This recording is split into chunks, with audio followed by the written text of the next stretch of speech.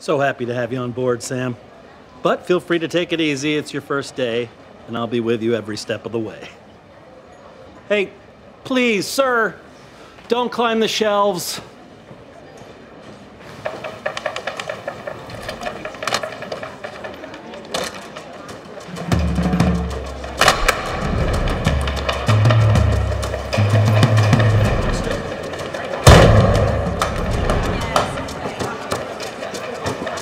Man, where's the chargers?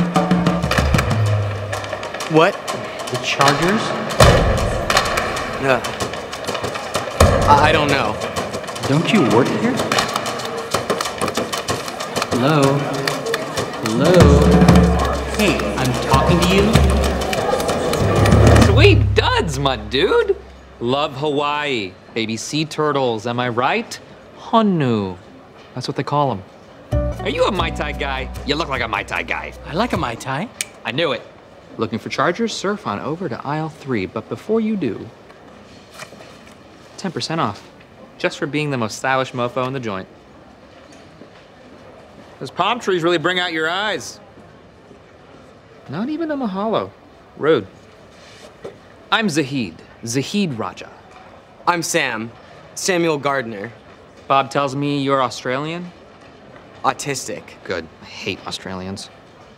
I knew where the chargers were. I already memorized the layout of this whole stupid store. Yeah, don't sweat it. That guy is a fashion nightmare. Only one man can pull off a shirt like that. Tom Raja. That's my uncle.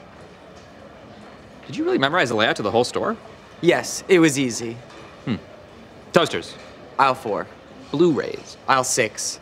video games, laptops, candy. Aisle 11. Back wall, and right by the register. Oh. I have no idea if those are actually correct, but I get the sense that you. How do I say this? Complete me.